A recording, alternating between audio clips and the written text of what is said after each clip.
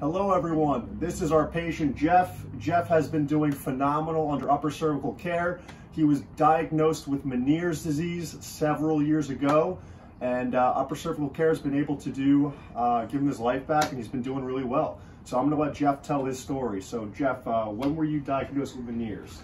Uh, roughly around 2010. Um, and on and off I've had many episodes. Uh, we moved to New Jersey in 2020. What were your episodes? Um, vertigo, loud ringing in my ears, fullness, um, unsteady at times. Um, but again, we moved in 2020 and it seemed to come on more frequently.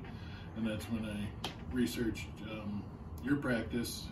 And I've been coming here for roughly a year and everything is much better now. Very, very good. Um, what were some of the other things you tried to resolve for the Meniere's? I tried acupuncture, uh, changing the diet, um, many different things, um, and nothing was working um, until upper cervical. Yep.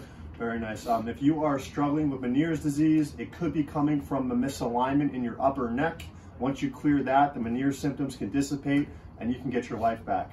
Thank you so much for everybody for listening. If you know anybody with Meniere's disease, share this video, comment below, and thank you for watching.